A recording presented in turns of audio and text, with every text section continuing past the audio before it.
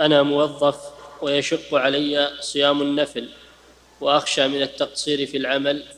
وقد أنشغل فلا أصوم الخميس